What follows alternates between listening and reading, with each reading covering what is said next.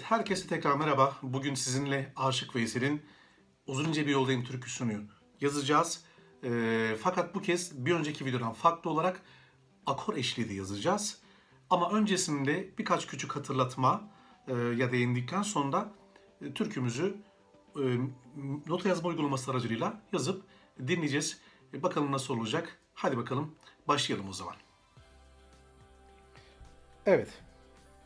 Şimdi türküyü yazmaya başlamadan önce e, bazı temel şeyleri hatırlayalım. E, hemen şuradan kalemimizi açalım. Evet bildiğiniz gibi şu bölüm bizim uygulamamızda nota yazım uygulamasında kullandığımız e, klavyemiz. Buradan e, doğru seçeneği tıklayarak şarkınızı yazmaya başlıyoruz. Şu bölüm bizim bakarak yazacağımız türkünün notası olsun. Hani elimizde bir nota var ya ona bakarak bu uygulamayı yazacağız şu bölümde notalarımızın değerleri olsun. İşte birlik sus, birlik nota hangileridir? Bu şekilde e, burada hepsi mevcut.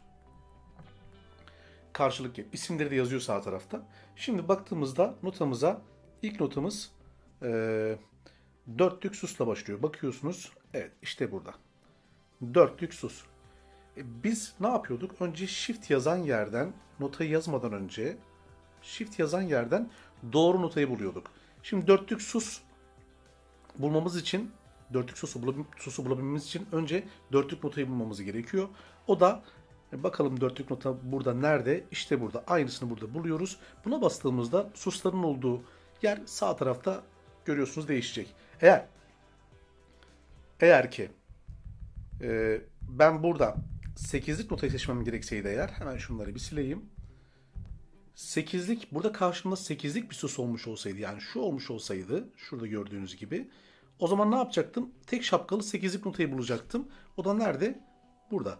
Buna bastığımda buradaki nota buna dönüşecek. Tamam mı? Prensibini anladık. Süper. Ee, şimdi başka hatırlamamız gereken ne var? Şarkı yazdığımızda göreceksiniz e, tekrar işareti var. Bakın nerede bu tekrar işareti? İşte burada, burada, bir de yukarıda var. Bunu nasıl koyuyoruz? Hemen geleyim. Bakın en üstte birinci e, e, 1, 2, 3, 4 en üstün en sağındaki ölçüye baktığımızda yani e, 1, 2, 3, 4. ölçüye baktığımızda bakın en sağda e, iki nokta işareti yani tekrar işareti var. Onu nasıl koyuyoruz? Hemen ölçünün sonundaki notaya bastığımızda kırmızı oluyor. Ona bastığımızda yukarıdaki 3 çizgi ses işaretinin yanında 3 çizgiye bastığımızda Edit Selection Mixer yazıyor. Buraya basıyoruz. Sağa koyacaksak bakın repeat, repeat yazıyor. Repeat yazan yerde koyu değilse seçmemişiz demektir. E, koyu olduğunda seçeceğimiz anlamına geliyor. Ben sağa koyacağım için sağa seçiyorum. Ve don ediyorum. Aşağı geldiğinde ikinci dizeyin birinci ölçüsüne geldiğimde bakın Gene bir susla başlıyor. Gene dörtlük notanın bu kez solunda. O zaman, o zaman ne yapacağım? Dörtlük susla bastıktan sonra gene aynı yeri seçip bu kez sol sol yazan yeri repeat sol seçeneği yani sol ekleyi seçeceğim.